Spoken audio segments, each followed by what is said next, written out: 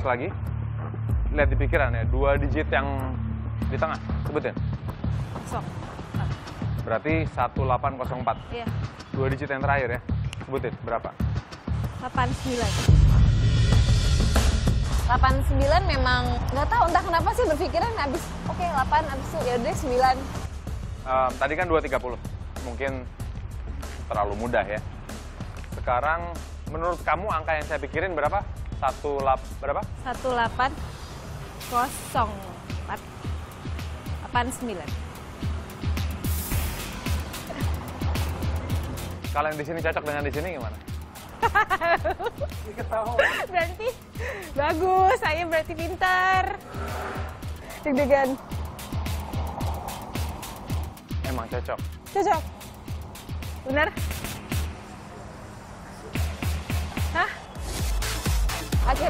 Melihat dia, ah ada danang. Kenapa? Cie, langsung gitu, sosok cie. Ini ulang tahun dia. Memang Iya. ini angkanya adalah tanggal lahir Oh my ulang god. tahun dari Oh my god, berarti aku jodoh. Bismillah ya Allah. dan bukan cuma itu.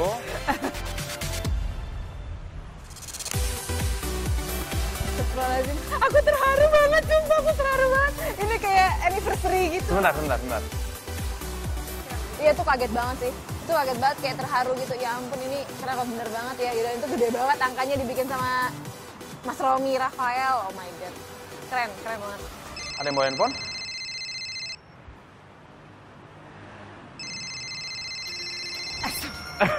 bohong ya? Eh, bohong ya, bohong ya pasti. Tiba-tiba ada yang tiba-tiba ada bunyi telepon dari kantongnya Mas Romi Rafael terus sebagai set dia lagi. Pas banget telepon. Sebentar. Halo? Maaf ya, aku nggak bisa nemenin syuting daerah. Aku syuting the comment. Makasih udah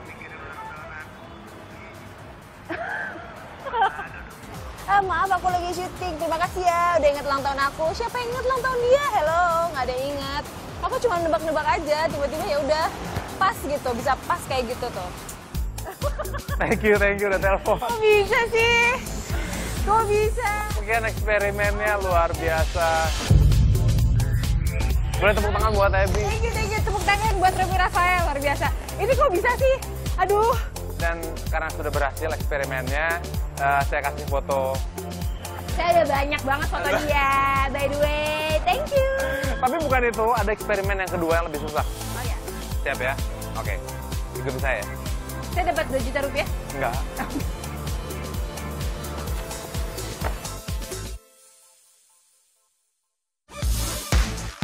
Bagaimana Ebi dapat menebak dan menentukan angka-angka apa yang dipikirkan oleh mereka? Manusia memiliki lima indera. Karena Ebi adalah orang dengan indera auditori dan kinestetik yang lebih dominan, maka untuk membuat Ebi mampu menebak angka-angka mereka, yang perlu saya lakukan adalah memanfaatkan kekuatan dari indera dominan Ebi itu sendiri. Itu kenapa di awal saya minta mereka semua untuk menyebutkan angka-angka yang mereka pikirkan di antara angka-angka random tadi. Lalu, bagaimana Ebi dapat menebak bahwa saya memikirkan ulang tahun Danang? Di awal, di saat saya berbicara dengan Ebi, beberapa kali saya menyebutkan nama Danang. Dan ini secara tidak langsung mempengaruhi semua pilihan yang dilakukan oleh Ebi sendiri.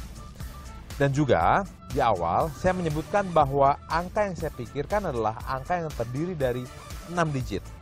Itu kenapa Ebi dapat menebak bahwa saya memikirkan tanggal, bulan, dan tahun dari ulang tahun Danang.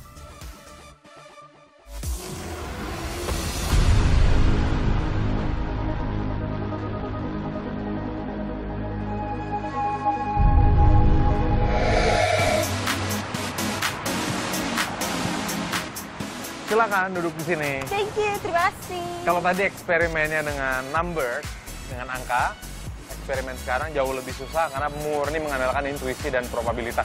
Which is menggunakan ini, Wow, puzzle. puzzle.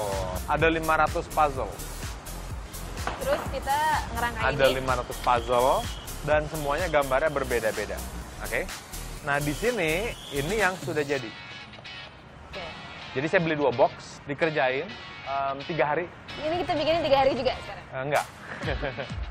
Yang dites juga intuisi kamu. Yes. Coba sekarang, bangkitkan pertama kali mungkin saat kamu merasakan hal yang pasti atau ada keyakinan atau ada intuisi. Mungkin saat kamu milih profesi tertentu atau mungkin aliran musik tertentu. Ada nggak saat momen dalam hidup kamu pakai intuisinya? Boleh diceritain atau itu personal? Banyak. Kalau misalnya lagi nyanyi, nyanyi. misalnya nari, jadi tuh pasti, apalagi kalau misalnya lagu yang aku suka, itu pasti sangat mendalami banget gitu.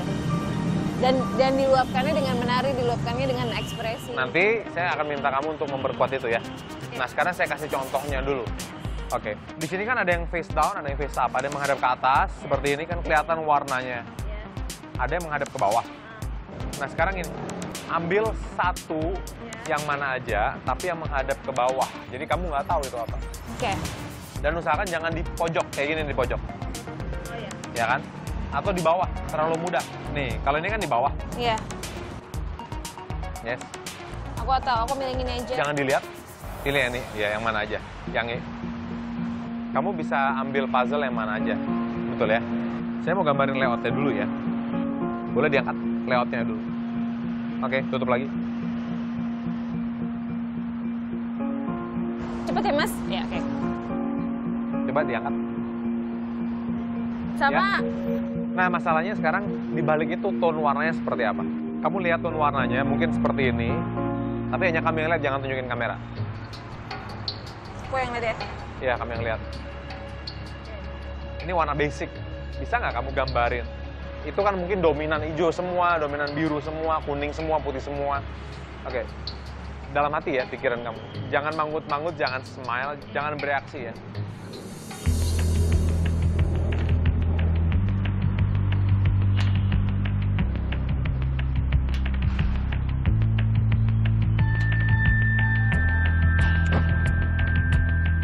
Fokusin ya, eh, bentuknya seperti apa ya.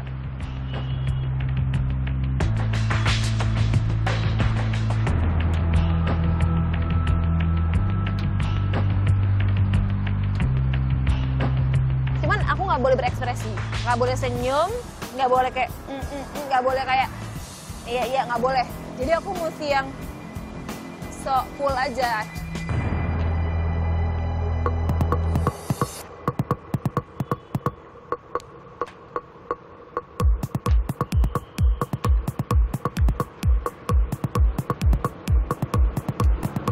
Boleh ditunjukin ke pemirsa di rumah? Jelasin itu apa sih? Kayak ini pohon deh, kalau di atas langit gitu. Tapi kayak ada buntutnya pohon gitu, kayaknya ya. Ujung. Pohon bukan hewan, kamu punya buntut jadi. Oh iya. Ini saya dapat. Masalahnya Kosong. ada satu yang hilang. Bismillah.